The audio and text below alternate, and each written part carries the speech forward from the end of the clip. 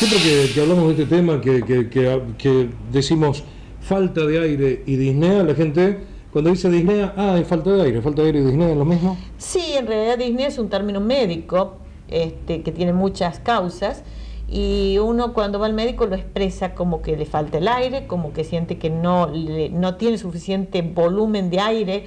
¿eh? Muchos dicen no puedo suspirar, me agito cuando subo una escalera, cuando hago un esfuerzo. Esa expresión es la de los pacientes.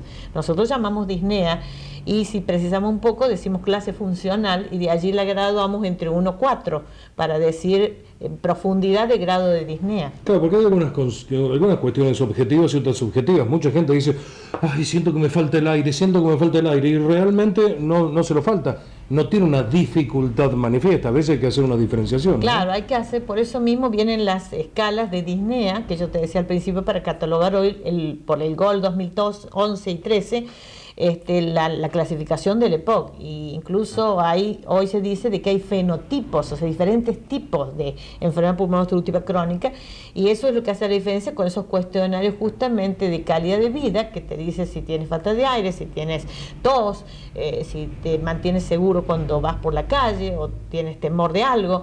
Este, y después está la escala de Disney que te dice en qué grado, en qué momento tienes más falta de aire cuando subes una escalera, eh, cuando te, vistes, cuando te desvistes, es decir, esa situación, lo mismo que en el SAO cuando vos estás eh, interpretando si el individuo tiene somnolencia, son escalas que ayudan al diagnóstico, uno con todas esas cosas hace diagnóstico, la espirometría es una parte, en realidad uno lo usa como screening, como que ahora el 18 de este mes se conmemora el Día Mundial del EPOC y ya desde el mes pasado hay muchos que han empezado a hacer screening, o sea, espirometrías, en, en la Plaza San Martín lo estuvieron haciendo, en muchos hospital, nosotros lo vamos a hacer en el Córdoba el día 18, vamos a hacer un screen solo con espirometrías y veremos si las espirometrías algunas resultan patológicas, bueno, ya citaremos para un mayor estudio y para poder definir el EPOC en, su contexto.